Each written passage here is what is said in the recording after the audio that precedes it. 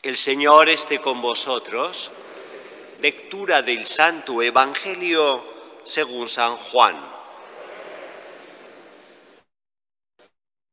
He dado la gloria que tú me diste para que sean uno, como nosotros somos uno, yo en ellos y tú en mí, para que sean completamente uno, de modo que el mundo sepa que tú me has enviado y que los que has amado a, ellos como me has amado a mí.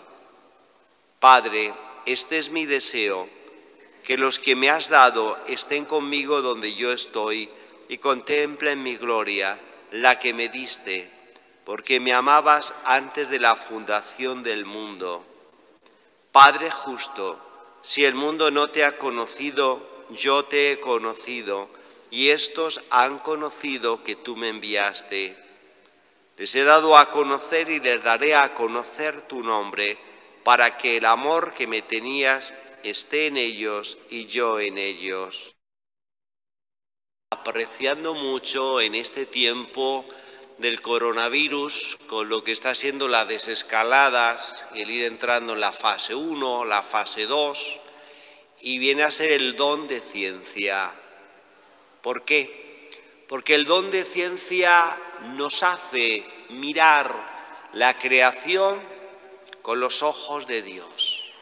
Nos hace disfrutar de todo este entorno que hemos llegado a salir tras dos meses de estar en nuestras clausuras domésticas y quedarnos admirados del color de las flores, del entorno verde, del canto de los pájaros, y como hemos estado metidos en clausuras, pues al salir hacia afuera, pues no cabe duda que valoramos y apreciamos mucho más lo que antes tal vez, pues el salir y correr de la vida en el día cotidiano, pues ni siquiera apreciábamos el canto de un grillo o lo que era el color del sol reflejado en la muralla.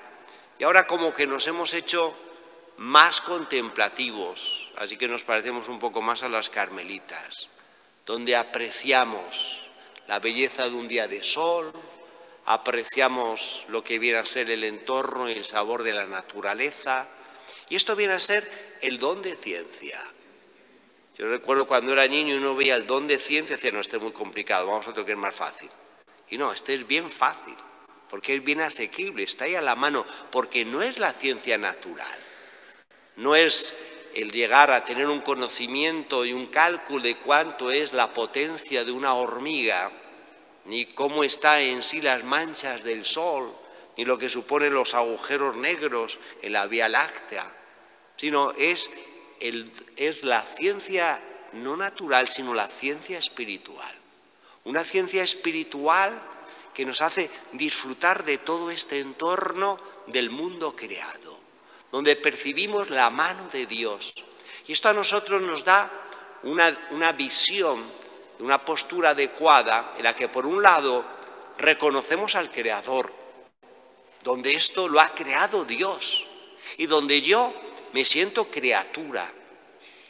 Y en esto que estamos viviendo del coronavirus, no cabe duda que como que se nos ha ajustado una vez más esto, de que aquí hay un creador y tú eres una criatura y que tú no eres el creador y que tú no puedes dominar lo creado. Y esto humildemente ha hecho que reconozcamos, incluso hasta los que no creen, hasta los más soberbios, hasta los más prepotentes, han manifestado que el coronavirus les ha sobrepasado y como que uno se ubica en su lugar. Es como si un adolescente pues quiere tomar el rol de su padre y de su madre en la casa. Oye, pues mira, tú colócate en tu sitio. O como si un empleado quiere tomar el puesto de directiva. Oye, tú, eres eh, el empleado. Entonces somos criaturas frente al Creador. Y cuando esto nosotros lo reconocemos, viene a ser como en el arte. Si a mí en el arte me dicen, mire, esa estatua de San José la hizo Gregorio Hernández. Uh, como que, impresionante. Realmente no sé quién la hizo.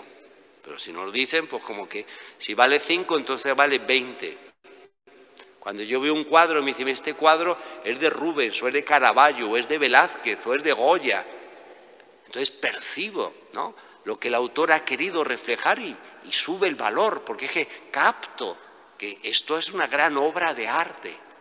Cuando yo contemplo la naturaleza en todo su esplendor y siento la mano de Dios, siento su firma, siento su huella, es que le encuentro ahí.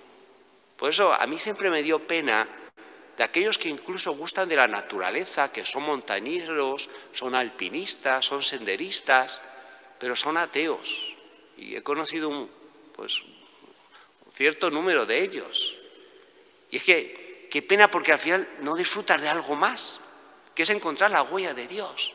Te quedas, pues eso, ¿no? en el sabor de la naturaleza, el gusto, los colores, pero no llegas a captar todavía algo más, que es la presencia de Dios. Esa presencia de Dios que hubo santos, y sin irnos tan lejos, San Juan de la Cruz, en su cántico espiritual, a donde te escondiste, amado, me dejaste con gemido, donde se recreaban en la naturaleza. La famosa oración de San Francisco de Asís, hermano Sol, hermana Luna. Entonces, eh, es una invitación a que este don de ciencia, que ahora estamos disfrutando en el contacto con la naturaleza de vuelta, nos haga a nosotros gustar y sentir la presencia de Dios. Y dejo aquí una invitación, y es que se le hagamos gustar a otros a nuestro alrededor.